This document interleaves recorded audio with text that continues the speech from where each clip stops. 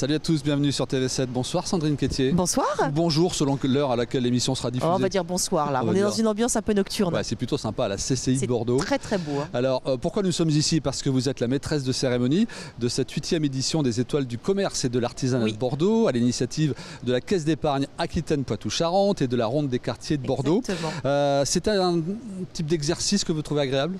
Oui, c'est un type d'exercice que je trouve agréable. J'anime souvent euh, comme ça des soirées ou pour des entreprises ou des conventions. Et là, c'est un, thème qui m'est particulièrement cher parce que je suis euh, la première à défendre les petits commerçants et Commerce de proximité. Exactement, le commerce de proximité, l'artisanat, le commerce de bouche. J'en ai moi-même dans ma ville, j'habite à Boulogne-Billancourt où j'ai la chance d'avoir euh, des, commer- des commerçants qui sont formidables. Donc je crois que c'est des gens qu'il faut vraiment mettre à l'honneur et récompenser parce qu'ils sont, un- ils ont un rôle de lien social aussi au sein des quartiers et, euh, et d'excellence. Donc euh, je, voilà, je trouve que cette soirée, elle a tout son sens et je suis ravie d'être euh, maîtresse de cérémonie. Alors ce soir, maîtresse de cérémonie, donc est-ce que ça s'apparente à votre métier de, de présentatrice télévision? Oui, c'est un petit peu le, c'est un petit peu la même chose. Euh, on s'adresse alors euh, non pas à des, euh, à une caméra, mais à des gens, mais c'est un peu les mêmes codes que le, que le métier d'animatrice, à savoir voilà, présenter les gens, les mettre en valeur, expliquer le déroulement de la soirée. On parlait des, commerces de proximité. C'est vraiment quelque chose que, voilà, qui vous tient à cœur. Vous pouvez nous en citer deux ou trois comme ça? Ah bah oui, moi j'ai la fromagerie Escudier euh, qui est à côté de chez moi. Euh, euh, j'ai la boulangerie aussi juste à côté chez Céline. Enfin j'en ai plein, oui bien sûr, à côté de chez moi où je vais très régulièrement. Vous êtes avec nous à Bordeaux. Mhm. En quoi cette ville est importante? Est-ce que vous faites partie de ces people dont vous parliez dans 50 minutes inside qui s'arrêtent l'été au Cap Ferré par Je exemple vais de temps en temps au Cap Ferré. Alors, Ouais. je ne m'arrête pas, j'ai pas de résidence au Cap Ferré, mais je vais au Cap Ferré de temps en temps chez des amis. Vous j'ai- le passage Bordeaux? Oui, de passage, et puis j'y suis restée. Mais alors, je vais vous parler d'une époque il y a très longtemps. Il y a eu un festival de musique qui a été organisé une année qui s'appelait le Doc Martins Festival. Je ne sais pas si vous vous en souvenez. Ouais. Donc j'étais venue plusieurs jours et c'est une ville que j'aime beaucoup. Je suis venue tourner des reportages ici dans le cadre d'une émission euh, que je faisais qui s'appelait Du beau, du bon, du bien-être. Ouais. Je suis venue passer 2-3 jours à Bordeaux. Je trouve qu'on y mange bien, que c'est joli et que les gens sont, sont agréables. Donc euh, trois bonnes raisons pour venir. Et c'est vraiment une ville que j'aime bien. Vous êtes avec nous euh, aujourd'hui devant les caméras de TV7. Est-ce que la page télé est définitivement tournée? Oui, elle est, elle est tournée pour le moment euh, pour l'animation, oui. Ouais. Alors elle n'est pas tournée complètement puisque maintenant je fais de la fiction euh, pour la Mm. télévision. Je vous ai vu dans euh, Magellan, vous étiez bah oui. vachement bien. hein C'est gentil. Euh, pour ce qui est de la, pour ce qui est de la, de l'animation, oui, oui, oui. Alors c'est pas un nom. on, voilà, on peut jamais dire jamais. En revanche, c'est vrai que là pour le moment, j'ai envie de me consacrer à autre chose. Ouais. La comédie, c'est quelque chose que, que vous n'êtes pas déc- découverte comme ça, c'est quelque chose que vous aviez oui, en vous j'ai euh, toujours depuis fait. j'en ai fait beaucoup aussi. J'en ai fait euh, euh, tout au long des 20 dernières années. J'ai Mm. notamment tourné pour des séries en Belgique. J'ai fait plusieurs apparitions dans plusieurs séries aussi. Donc c'est toujours quelque chose que j'ai eu envie de faire et qui nécessite du temps. Ouais. C'est-à-dire que lorsqu'on veut faire de la comédie, euh, moi j'avais un emploi du temps très chronophage, beaucoup de chance parce que j'animais des émissions géniales, mais euh, finalement on était en septembre, on était déjà en janvier, puis en janvier on était déjà en juin. Ouais. Je l'avais pas vu l'année passée. Et je me suis dit, si j'ai envie de tenter ma chance et de le faire de manière un peu plus régulière et sérieuse, euh, il faut laisser tomber tout ce qui est à côté parce que sinon je n'en aurais pas le temps. Et c'est ce que j'ai fait. La décision était facile à prendre Deux ans. Deux ans Deux ans de réflexion. Ah Ouais. oui Deux ans à me dire, voilà, c'est le moment, c'est pas le moment, Mm. c'est le moment, c'est pas le moment. Et puis je me suis jetée à l'eau. Je crois, je crois savoir que votre départ a été organisé, euh, Oui. tout s'est vachement bien passé. Quoi. Oui, oui, oui, êtes pas du sûr. tout en froid avec TF1. Ah, pas quoi. du tout, puisque là je tourne pour eux. Là je suis en, en plein tournage de Camping Paradis, vous voyez, donc Ah euh, oui. TF1. Donc non, je suis pas, euh, pas du tout en froid. Je, les- je les, je les ai avertis. On a mené ça de concert euh, pour que une, je sorte le, 30, le 31 décembre et que, voilà, que je termine ma- mon petit bout d'année. Est-ce qu'on quand même on se pose des questions parce que deux ans c'est long, c'est flippant de repartir de zéro comme Oui, ça? C'est Ouais. flippant et que c'est excitant. C'est-à-dire qu'on se met un peu au pied du mur et on se dit bon bah maintenant voilà, tu as pris ta décision, il va falloir que tu l'assumes. Et, euh, et il va falloir se, se lancer. Euh, oui, c'est un peu flippant. Mais finalement, ça s'est enchaîné. J'ai eu de la chance, ça s'est enchaîné assez vite. Et puis, à côté de ça, il y a la musique qui me prend beaucoup de temps aussi. On va en et, et que j'ai pu densifier euh, aussi. Ça veut dire que vous refaites connaissance avec le trac, avec le stress? Oui, oui. Oui, puis l'impression de ne pas du tout être dans ma zone de confort. Ouais. C'est-à-dire d'avoir beaucoup, d'avoir une marge de progression énorme. Donc ça, c'est assez formidable. Hmm. C'est assez bien de se dire, je peux encore faire plein, plein, plein de progrès. Ouais. Vous parliez de musique, The Oui. Jokers, Oui. on va en parler dans un instant.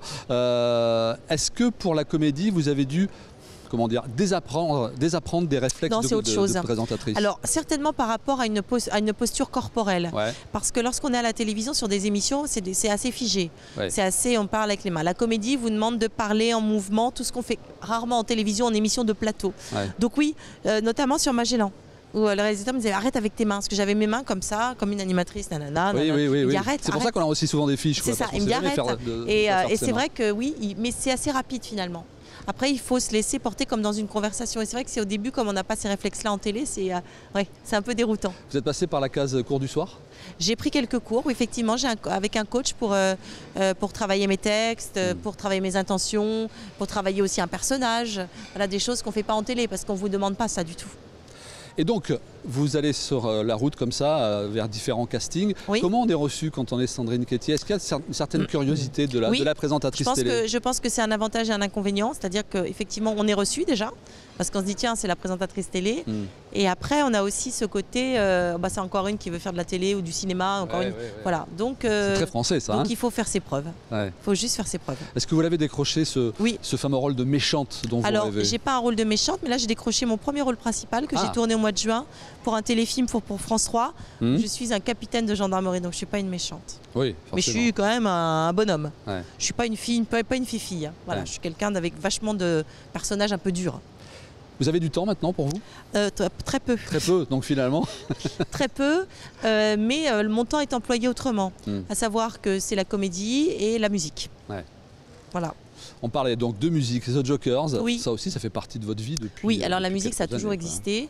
Et ce groupe-là, euh, depuis 8 ans, Ouais. les Jokers. Les Jokers. Mm. C'est du rock?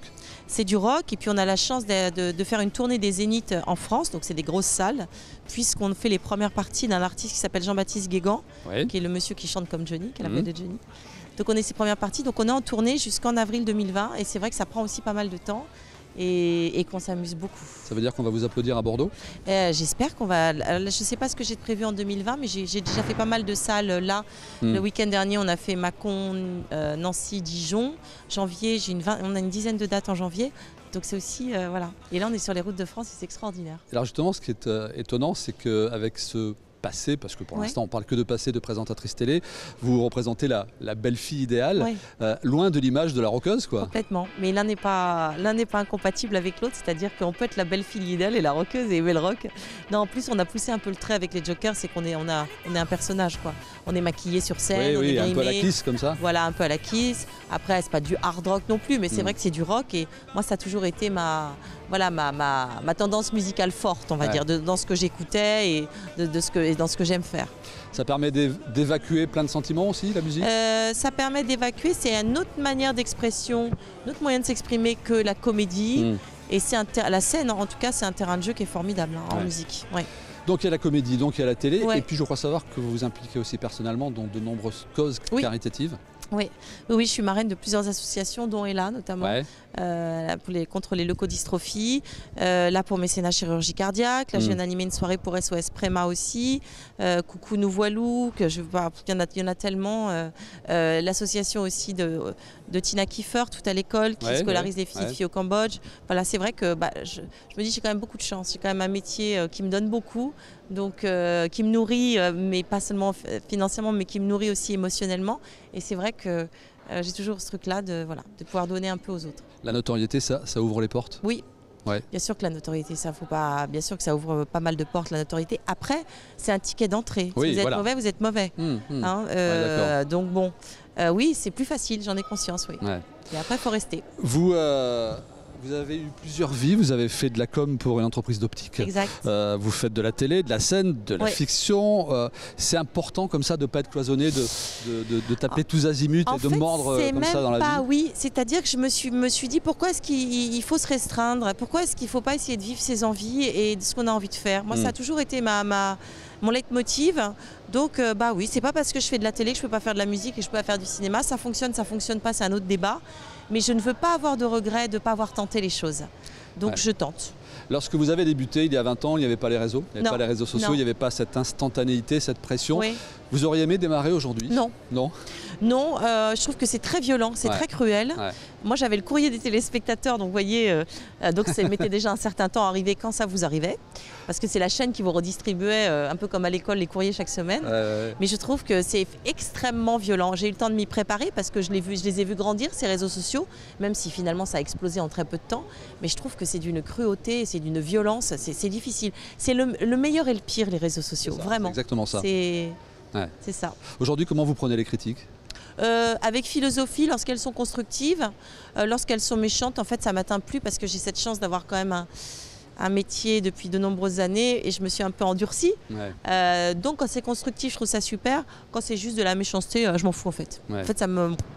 J'ai passé l'âge. Et votre public que vous avez quitté Oui. de- d'il y, a- il y a- il y a deux ans de Oui. TF1, il, il vous Ah bah, en a voulu Eh ben non, pas du tout, mais il est super mon public. Je reçois souvent des petits messages. Quand est-ce que tu reviens? Quand est-ce qu'on vous revoit? Vous nous manquez?